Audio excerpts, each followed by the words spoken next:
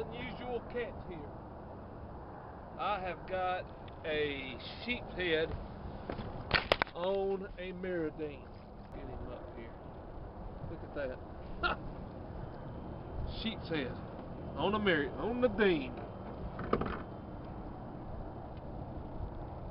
Not a monster, but a keeper.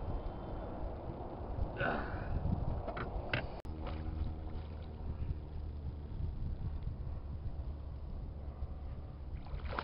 Ooh, that's a pretty good one.